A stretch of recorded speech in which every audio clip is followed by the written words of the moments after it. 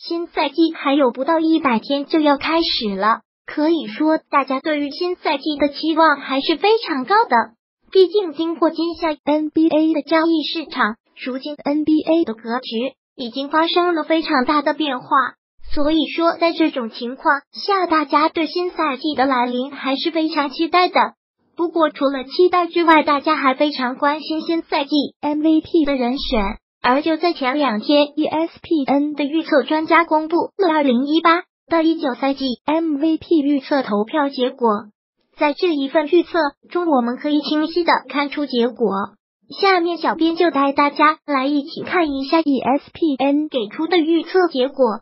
看看他们的预测结果和大家所想的是否一样？No 三杜兰特在这份榜单上，凯文杜兰特得到百分之十二点一的第一选票，总分四十三分，排在 MVP 的第三位。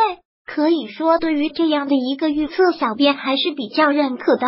虽说杜兰特的个人能力非常强大，并且勇士的实力也非常强悍。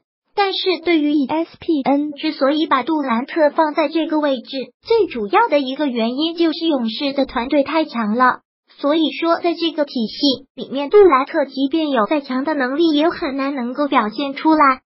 或许换句话说，就是即便杜兰特的实力再强，也很难能够在勇士这种体系里面脱颖而出。因为一支优秀的体系是不容许有个人英雄主义存在的。No 二。戴维斯新赛季对于鹈鹕来说无疑是一个新的挑战。要知道，在上个赛季，鹈鹕拥有隆多、考辛斯、戴维斯这三名核心的球员。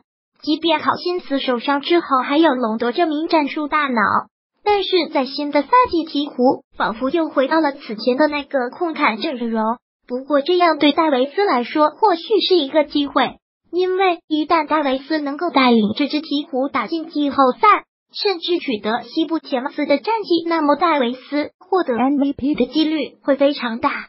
更为重要的是，在最近几个赛季里面，戴维斯一直就是 MVP 前三的巨星，就算是轮也该轮到他了。No 一，詹姆斯在这份榜单上，詹姆斯得到了得到百分之三十四点九的第一选票，总分八十五分，排名第一。显然，对于这样的一个预测，或许会有许多球迷会表示不满和质疑。不过，在小编看来，ESPN 的预测并没有错。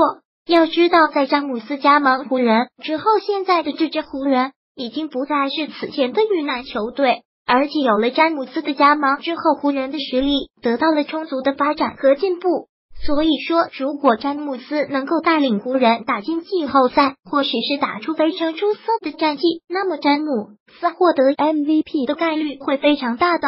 而且，一旦詹姆斯能够拿到 MVP，便能够拿下职业生涯里的第五个 MVP 追平乔丹。除了这三名球员之外，ESPN 还给出了后面最有可能获得 MVP 的四到十名球员。而上个赛季的 MVP 获得者哈登排在第四位，字母哥排在第五位，库里排在第六位，而以往一直排在